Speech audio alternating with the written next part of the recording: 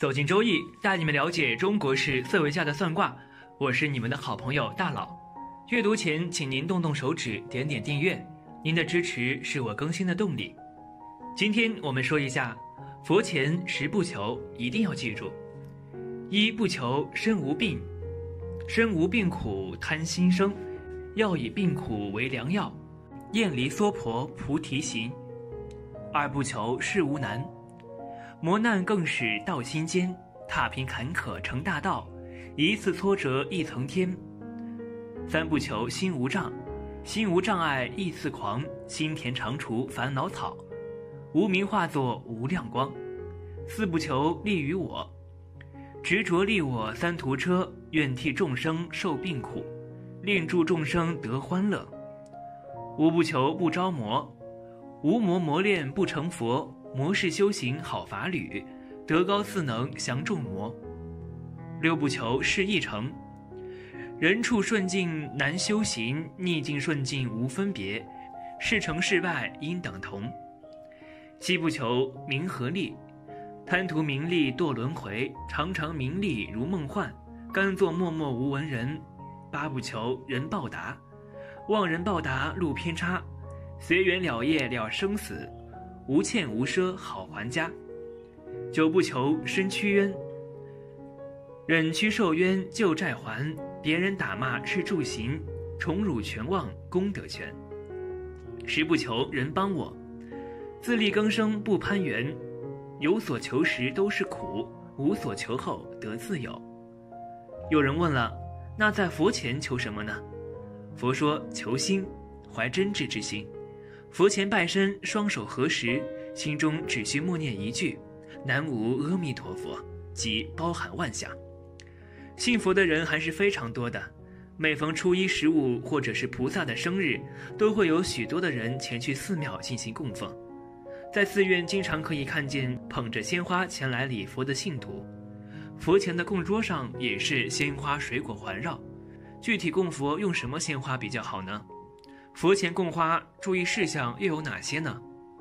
供佛用什么鲜花？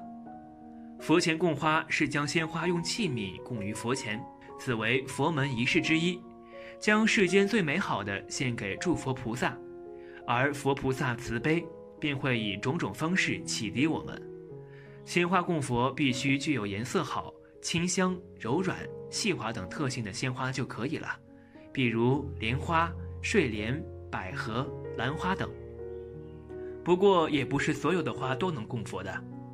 苏西地戒罗经供花品卷上明确列举了许多花不能供佛，例如刺花、刺树所生花、苦心味花或无名之花等，不得做供花。因此，类花难以令见者喜悦吉祥。佛经上最重视的是莲花，世间的花以莲花最为尊贵。因为莲花出淤泥而不染，花开时美艳动人，气味芬芳，姿态庄严，却生长在污泥之中。而且莲花的花与果实是同时成熟的，这也是莲花的尊贵特别之处。所以莲花是首选。佛前供花注意事项：花代表阴，所谓花开结子，是以佛前供花来提醒众生，播种成佛之因，求成佛之果。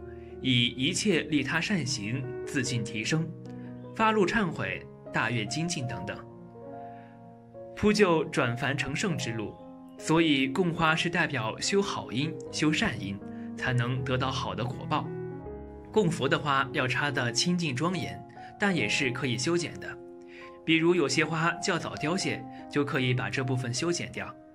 但是凋谢过后，不要马上扔进垃圾桶，花可以放在树根处。供养这棵树的神，树神会很高兴。等干了以后，才扔到垃圾桶里。总之，最好维持花的新鲜度，才有恭敬之意。我一直相信释迦牟尼佛的一句话：无论你遇见谁，他都是你生命该出现的人，绝非偶然。他一定会教会你一些什么。所以，我也相信，无论我走到哪里，那都是我该去的地方，经历一些我该经历的事儿。遇见我该遇见的人。昨天是一道风景，看见了，模糊了；时间是一个过客，记住了，遗忘了。生活是一个漏斗，得到了，失去了。世上没有不平的事儿，只有不平的心。不去怨，不去恨，淡然一切，往事如烟。看清一个人，又何必去揭穿？讨厌一个人，又何必去翻脸？活着总有看不惯的人，就如别人看不惯我们。人的成熟不是年龄，而是懂得了放弃，学会了圆融，知道了不争。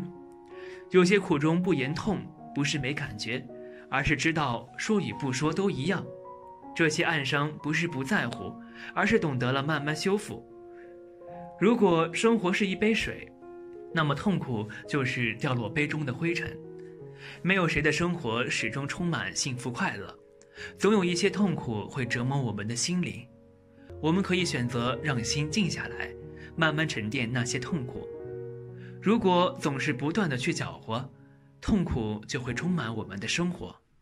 所以，不乱于心，不困于情，不畏将来，不念过往，如此安好。人生哪能事事如意，生活哪能样样顺心？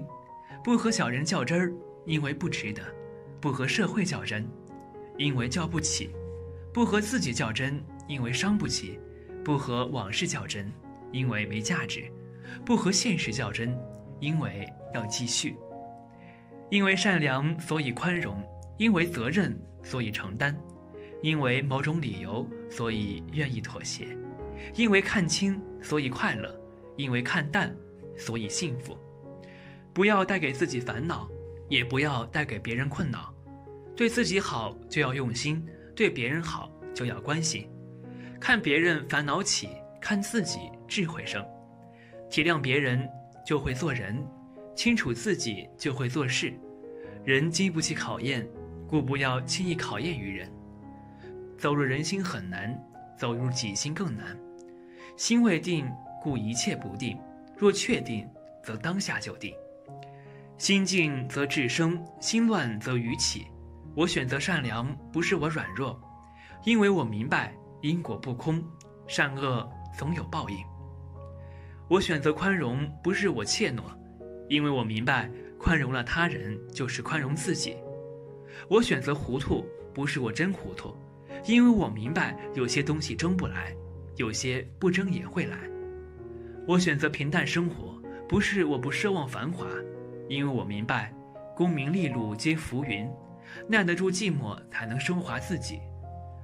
人生就是一阵风，起了没了；理想就是一盏灯，燃了灭了；人情就是一阵雨，下了干了；朋友就是一层云，聚了散了；闲愁就是一壶酒，醉了醒了；寂寞就是一颗心，闪了灭了；孤独就是一轮月，升了落了。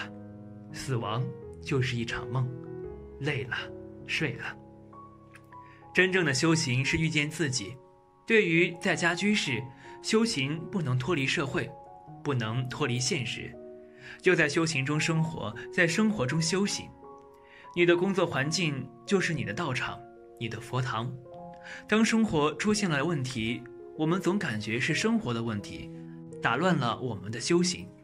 其实修行与生活是一体的，修行的目的也是为了解决生活中的实际问题。离开了生活谈修行，总不免是在逃避问题。如果你专注当下，煮饭、洗碗、做家务也是一种修行。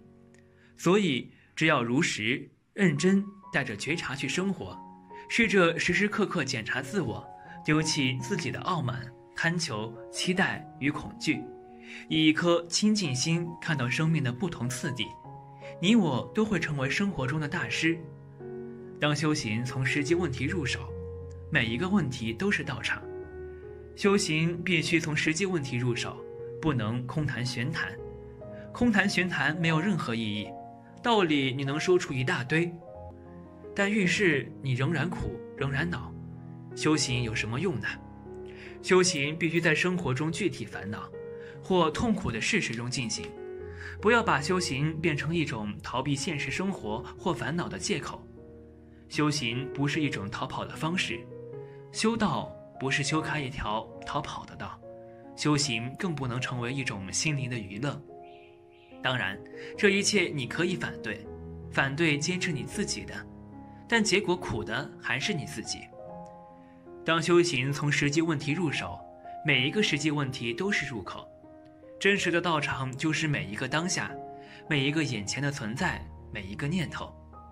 如果你婚姻有问题，有问题的婚姻就是你的道场；如果你和老公的关系有问题，你和老公的关系就是道场；如果你和同事发生矛盾，这与同事的矛盾是道场；如果你陷入生活的无聊，这无聊是道场。如果你出现了钱的问题，钱就是道场。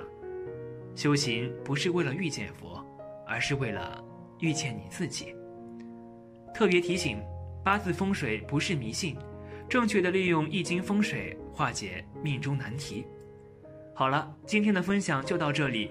如果你有什么意见或建议，记得在视频下方留言，大佬会尽力满足您的需求。期待下次与您的分享。